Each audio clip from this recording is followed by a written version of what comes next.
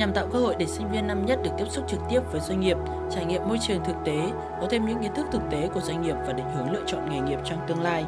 Chiều ngày 8 tháng 9, các bạn tân sinh viên khóa 6 của trường Đại học Greenwich Việt Nam đã có buổi tham quan hữu ích tại tập đoàn FPT, một trong những doanh nghiệp đứng hàng đầu về công nghệ thông tin. Tại đây, các bạn sinh viên đã được giới thiệu về quá trình hình thành phát triển, cơ cấu tổ chức, quá trình lịch sử của tập đoàn FPT thông qua hoạt động tham quan bảo tàng lịch sử.